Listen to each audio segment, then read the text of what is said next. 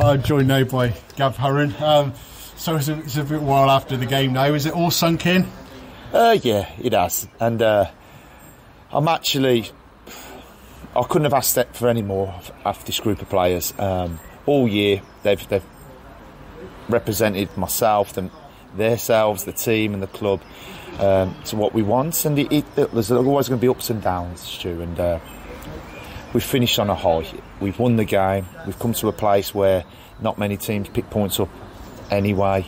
And to play the way we have and create the goals we, we have and all the fans, it was just it's, it's, it's a really really nice feeling in the sense of yes, there's a little there's a lot of disappointment we've not made the playoffs through goal difference, but um, to see what this club is doing and where it's going, it's it's an amazing feeling in the sense of. Uh, yeah, I'm, I'm really, I'm, I'm, really happy. I'm disappointed, like you are, but to finish the way we have there, it's, uh, it's a really nice feeling. Yeah, absolutely. From last season to this, I mean, I mean, how many places is that that you've improved on on last season? So, echo a lot of positives, but it's so far, wasn't it? That uh, you know, sort of like tinges it at the end, even though it, you know it, we played absolutely brilliant today. Of course, of course, and in, and it's it.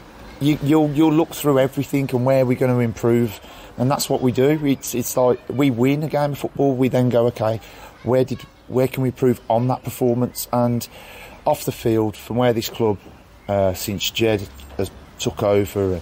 I know it was three years prior to myself coming in, but how he's built this with everybody else, volunteers, board of directors, and the, the fan base. It's just an amazing football club. Uh, the infrastructure's there. I was saying last year, the only thing that was probably holding the football club up was the, the first team in the sense of the performances and the way we played at times. But it's a, it's a project, isn't it? And this year we, we, we've shown that um, if we, we play to our, our strengths and we recruit the way we have um, and play with freedom and enjoyment, it, it will it will show on that pitch. And I think to this season we've done that in abundance. I think some of the goals we've scored, the wins we've we've we've we've took, and um, just the interaction with the whole town. I think the whole thing with the fans and like I said on Thursday to you, the the scholars, the the academy, the girls teams, the everything. I, I mean, I'm probably forgetting and missing certain things out, but I talk the way I do, Stu, because I mean it comes from the heart, and I, I thank Jed for giving me this opportunity to manage a football club but also I thank the players and I thank the fans because it, it, it makes it all worthwhile. And it's um, I'm going to enjoy our win. Yep.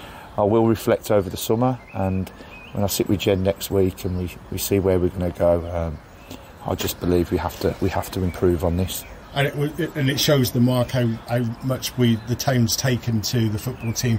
There was fifty odd people on a coach today, and that's been unheard of, isn't it? Well, that's just one coach. There was two coaches that came. There's fans that have travelled in their own cars.